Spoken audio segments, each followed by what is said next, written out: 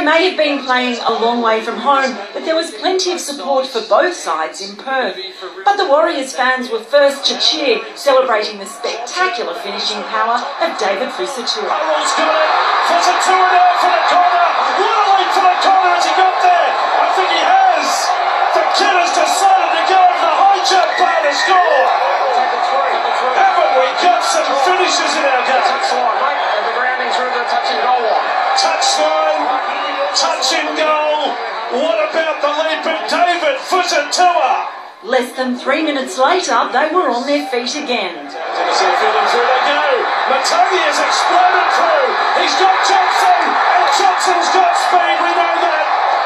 Suaia Matagi found himself grazing in open pasture, and the Warriors are absolutely on fire. After being starved of the ball in the opening stages, the Rabbitohs couldn't hold on to it when they had their first real chance. The Bunnies tried brute force, Sam Burgess is put on his backside by Johnson. Can you believe it? but 24 minutes into the match, it was the soft hands of John Sutton that finally succeeded. Dylan Walker, right centre, on the left side of the field, was some very fancy footwork for the first Rabbitohs try.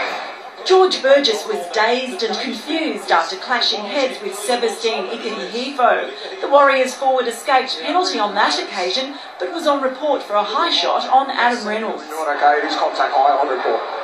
Souths winger Bryson Goodwin came within an inch of performing the second miracle grounding of the night. Oh no! Surely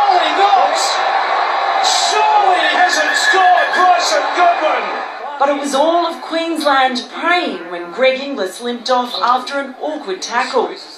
His Rabbitohs teammates followed him into the shed soon after, still trailing by four. The injury woes didn't end there. Goodwin the next to leave the field with an elbow problem. And the Warriors soon exposed the rearranged Rabbitohs defensive line. And there's Mannering, takes on Reynolds, Mannering scores again! Souths resorted to running repairs on Dylan Walker, but playing at fullback for the injured Inglis, Walker put any pain aside. Goes inside and look at this. Dylan Walker is so good! I love him! Dylan Walker is a little ripper! And just two minutes later, the Bunnies found room on the right. There's an opportunity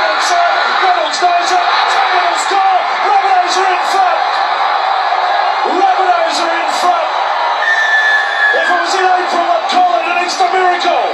The hard fought lead came at a cost, though. Jason Clark, the next to drop. dropped his centre of gravity there, and Jacob Lillyman just unfortunately caught the temple of Jason Clark. But the battered troops left on the field were up for the fight. There goes Tyrrell.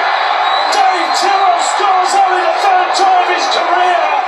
Warriors were flagging, and Adam Reynolds took advantage. Time. What the touch already? They've done it again, the Rabbitohs. In contrast, the Bunnies looked increasingly energised. No,